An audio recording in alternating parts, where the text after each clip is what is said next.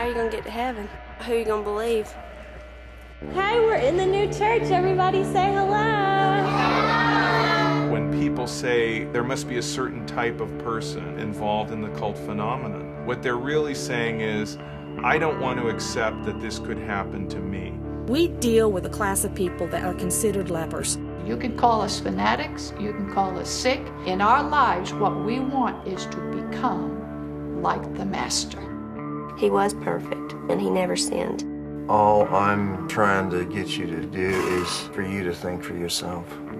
I did think, but now I feel confused. That's good. That means you're thinking. If it does not line up with what Pastor says, it is demons talking to you.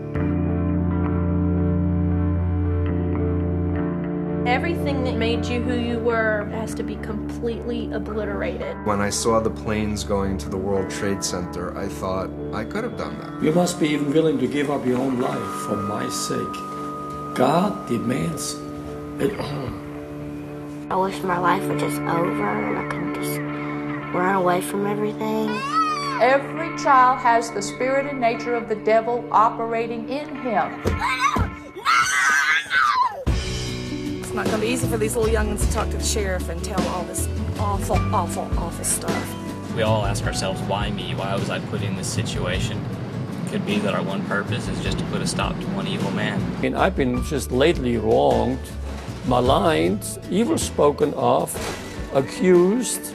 I'm as close as perfect, I think, that you can get. If sometime soon the police don't get something on video and audio, it's possible that they won't have a strong enough case. My biggest worry is going through this case, how they're going to make me look like a terrible mother and take my kids away. We meet in the church. It's a very good middle ground because we built that place with our own blood. I want to see him pay and suffer for what he did.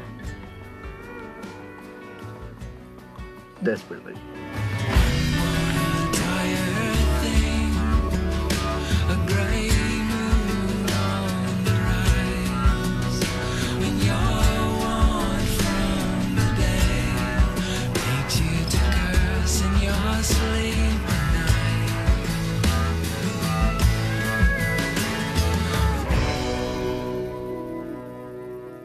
Pastor, I wanted to see if I could come to church tomorrow.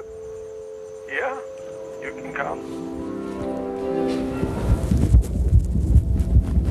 Praise the Lord.